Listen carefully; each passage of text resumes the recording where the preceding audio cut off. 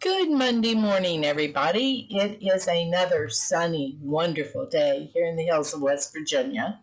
And I'm delighted to be spending a little bit of time with you before you head out and about and take care of some of the many activities you may have planned for today. Uh, I know our Canadian members celebrated Victoria Day last week, and this, for those of us who live in the United States, is Memorial Day. Uh, it is a very special time of the year for those of us uh, to re- stop, reflect, reflect, and remember. And coming from a small town in southern West Virginia, I grew up with this truly being a Remembrance Day this is, and I know it may sound ghoulish to some of you, but it was our tradition in the hills of West Virginia that on Remembrance Day, the entire family would trek to the cemetery and clean up the graves from winter and uh, put out fresh flowers and reflect on the people in our lives as well as those who had given all uh, during military service. It was a, quite a special time for the family.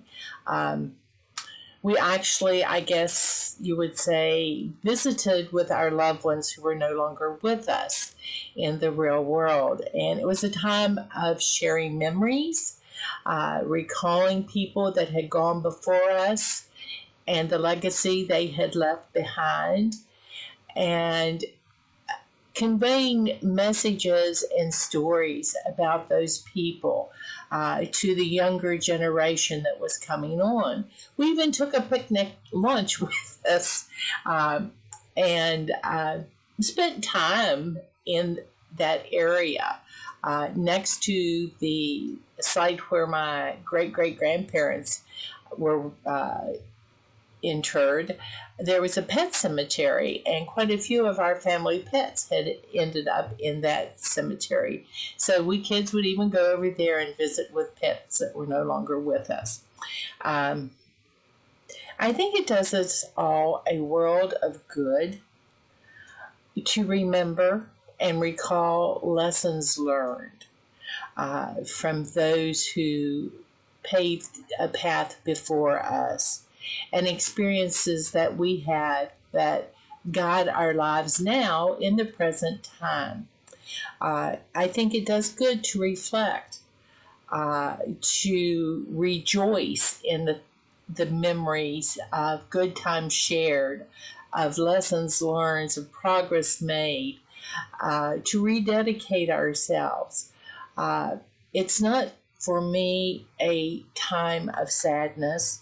It's a time of treasured memories, of recalling those who meant so much to us for so many years and gave so much to us during the time that they were here with us. Um, and that's how I look at this day. When I got up this morning, um, the sun was shining, and it occurred to me that there have been so many sunshine on all of us everywhere so many days of our lives. And we take that for granted that the sun will come up in the morning, but it's a gift. You know, every day is a gift, and we need to make the best of it. Um, I have plans for today, of course, as many people uh, I think do. And uh, one of them does revolve around cooking. And so the last night before I went to bed, I made a traditional dessert, or not dessert. Uh, it's sort of a salad uh, that can be picked at uh, before dinner's ready because it seems like everybody, when they gather together, even though the meal's not quite ready to go on the plate, they want to snack on something.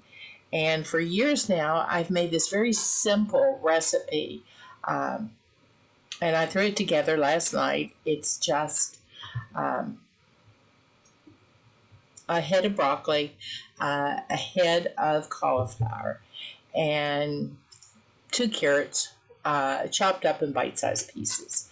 Uh, and you throw all that into a pot of boiling water and blanch it for a couple of minutes until the broccoli turns a really bright green. Then you take it all out and drain it and uh, run cold water on top of it uh, and let it drain really, really good. Then you put it in one of the large Tupperware bowls. I love Tupperware. And I pour um, about a half a bottle of no fat Italian dressing on it. Put the lid on it tight and store it in the refrigerator. Uh, it's better if it sits overnight. Uh, actually, can set almost 24 hours because that gives the flavor of the Italian dressing time to permeate the vegetables. And every once in a while, as I go by the refrigerator, I'll shake the bowl and turn it upside down uh, just so that everything is coated and marinates really, really well. When it comes time to start setting things out, that always goes out first with some little plates beside it and a big spoon. And people just fill their plate with these blanched vegetables with this lovely uh, fat free Italian dressing on it and snack at it during the course of the prep time. And so later today, that will come out, and people will begin visiting and snacking and talking and having a glass of iced tea and just the usual things that you do as a family and sharing stories. Um, so if you've not tried something like that, it's a good finger food, uh, very quick, very easy, very healthy, even. Uh, and something that can be made well in advance as you're making all your other plans for the meal during the day. Um, it's become, dare I say, a tradition in this particular family, and it was a recipe that was shared with me. I can't remember how many years ago by a fellow TOPS member. Um, it fits all the needs of my family, uh, plus many more, and I'm not even sure they realize it's healthy.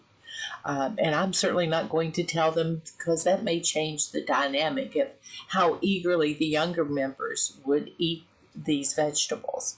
Uh, so it'll be our little secret. Um, and while I was making that uh, last night, I was thinking about all of the Memorial Days uh, that have gone before. And the members of our family who are no longer here. Um, and how grateful I am that I had time with these amazing individuals. And I hope that you're going to have the opportunity today to just relax, take a breath, breathe a little bit, and enjoy allowing those good memories to flood into your life and buoy you up, uh, boost your spirits, uh, give you joy, give you peace, uh, reflect on the good times. I, I find for myself that when we lose someone we love, it is so difficult because we're not through loving them yet we still want to keep on loving them and making more memories. Uh, and it's hard to accept the fact that they aren't there in person to show our love and our affections too. Um, and we hope we've loved them enough. And we wish for one more hug, uh, one more time. I know, um, I guess some of the funny things that I reflected on this time. I have an aunt who was in the military in World War II, and she was what we call in uh, West Virginia a ringtail tutor. Uh, she absolutely was the funniest woman I'd ever known, and she was a little bit inappropriate at times, and definitely took no quarter from anyone, and uh, just like a pirate. I would give anything to hear her relate one of her dirty jokes again because nobody loved them more than she did. And before she got halfway through the joke, she was already starting to laugh. And that's a memory I treasure. Um, I treasure uh, memories of everyone that has gone before. Uh, in many ways, uh, my grandmother, I treasure her memory, and I recall sitting on the edge of the bed while she rolled my hair in rags and made ringlets, sort of like Shirley Temple. Uh, she was uh, confined to her bed when I was a child. Uh, she was quite ill. Uh, but I had special times with her and special memories. And I treasure those. Uh, those memories help shape me to be the person I am today. I adored my dad, and my mind floods with memories of him. Um, I've shared memories of uh, my granddad. Uh, so many of my family were in service. We were lucky uh, that none of them were killed in service to our country and got to come home for us. So today is even more special for me in that regard because they did not have to pay the ultimate price that so many had to pay to give us all the blessings that we treasure. And this isn't meant to be uh, any kind of political statement at all. It's just meant to be reflecting and being grateful uh, for all that have helped shape the life I have and the life I enjoy each and every day. And so I hope for all of you, as well as for me, that we'll find joy today in recalling. We'll find joy in reflecting. We'll find joy in remembrance and we'll find joy in relaxing and spending time with each other as we go about our daily activities today. I wish you a wonderful day wherever you are. I wish you happiness. Uh, hopefully, there'll be a few fireworks in your areas. There will be here. Uh, I'm still in awe every single time I see fireworks. I, I'm one of the people in the crowd that go, oh, oh, oh. I just love that. Uh, so I plan on going to the park in just a little bit and taking some quiet time for myself and doing a walk.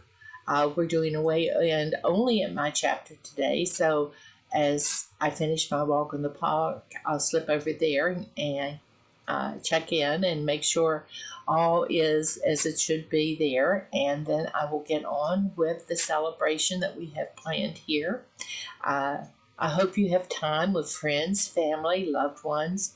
Uh, and I, have, I hope you have time to share with each other your memories and your hopes for the future and make today truly a memorial day to the lives of all of those who have gone before us, and a day filled with heartwarming remembrance of the good memories in your life. Have a great one.